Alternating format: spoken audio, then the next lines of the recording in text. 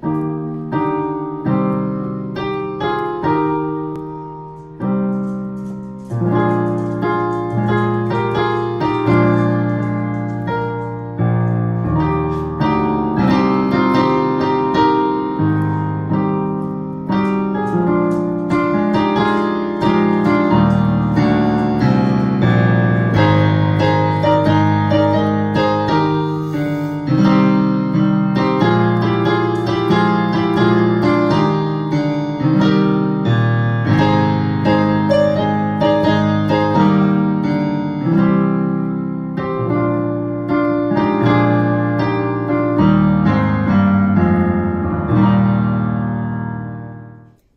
Highland Park.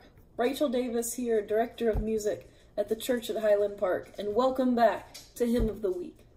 Every Wednesday we gather together and we talk about some of my favorite hymns, the classics, the favorites that sit in our hymnal every week that we would be singing now if we were together. We talk about the music, the text, the history, and the meaning behind these wonderful hymns. And this week, we're going back to one of those oldies and goodies, Shall We Gather at the River by Robert Lowry. Let's check it out. Not very often do we get to see that hymns are written, text, and music by the same person. It's actually more rare than you'd think. Here we have a great example of someone known for writing the text and the music to some of our favorite hymns, Mr. Robert Lowry, or as his friends called him, the Good Doctor. Robert Lowry was the perfectly typical Baptist man. He attended church all of his life. He started writing hymns at a young age, and he wrote some of our favorites. We've got All the Way My Savior Leads Me, Nothing But the Blood of Jesus. Robert Lowry was the great American hymn writer. The text and the music usually came to him together, and he could just put out hymns for everyone to hear. But one day, he writes, Shall We Gather at the River? And usually for Robert Lowry, he describes his hymn writing experience as just seeing dis- pictures or seeing images of what the hymn is supposed to be. So he's, he finds these images maybe out in nature, maybe in a church service, in these very natural places for him to see images of how the hymns are to come to life. And then he writes them. But on this day, July in 1864, we have the most unnatural way that Robert Lowry could have written this hymn. The story goes that he was the pastor at a church called the Hanson Place Baptist Church in Brooklyn, and the weather was sweltering.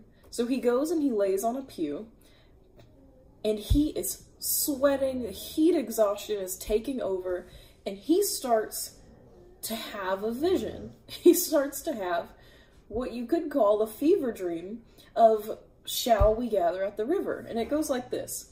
Suddenly, he sees the apocalypse before him take form and he sees the throne brightest of all, this heavenly river, and the saints are gathering around him. He says his soul took a new life and a new celestial outlook.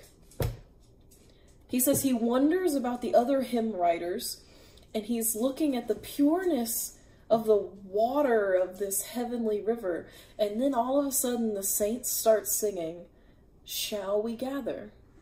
Not even shall we gather at the river, shall we gather? And the angels reply, Yes, we'll gather. So he wakes up and this music comes to him and he starts jotting it down and Shall We Gather at the River was born. So if you're feeling like it's one of those hot days outside, the Texas summer that's about to come up, go sit outside and see if you can write a hymn. I bet you it'll work. And that, my friends, is Shall We Gather at the River, written, music, and text by the good doctor Robert Lowry. Thank you so much for joining me every Wednesday. It's been such a pleasure to share these hymns and these fun stories with you, and I can't wait to share them with you in person in the coming months. So I hope you have a wonderful week, Hyde. Stay safe out there, and I'll see you next Wednesday.